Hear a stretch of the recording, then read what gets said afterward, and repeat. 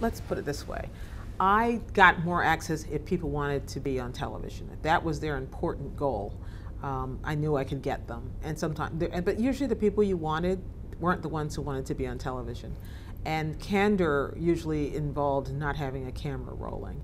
And so I missed the days when I could just show up someplace with a notebook and get a story.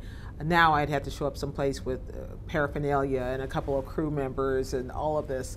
And that made it often much more complicated. But you went for a different kind of story too. I had to learn the, the fact that a lot of the smart, interesting page one investigative pieces are not television stories.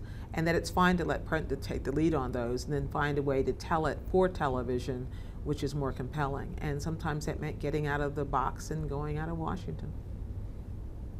Were there stories that, that you felt that you wish that you could do um, had, had you been in print that now you, now you couldn't? Oh, I'm sure there are lots of stories, but in the end, I, I think it's all a trade-off. There's just certain kinds of stories you can do in television that you can't do in print, and certain kind of print stories that you can't do on television, and they, uh, the two mediums should be complementary, and I think they can be, and are increasingly are more and more in an era where we have blogs and people with their own little iPhones taking pictures. I mean, I think that there we are telling kind of a different kind of story now in a different way. So I don't miss it as much. Like I'm, I'm, writing a blog which allows me to think in a different way than I would if I had a camera in my hand.